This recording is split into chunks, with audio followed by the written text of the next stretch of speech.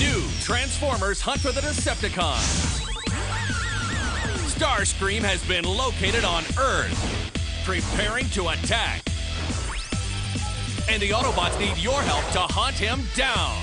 You can look for codes in specially marked packages. Enter them at Transformers.com, then hunt, locate, and battle the Decepticons. Together, you and the Autobots have the power to stop Starscream. Transformers, Hunt for the Decepticons. Each sold separately, change time may vary. Ask a parent before going online.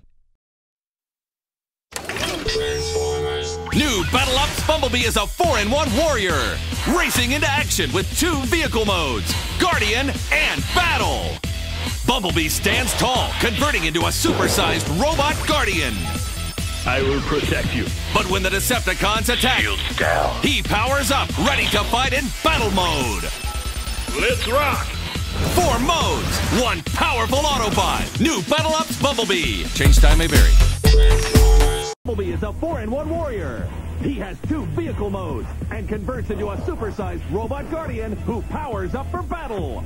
Four modes, one powerful Autobot. New Battle Ops Bumblebee. Change time may New Transformers Hunt for the Decepticons. Starscream has been located, and you can help the Autobots hunt him down.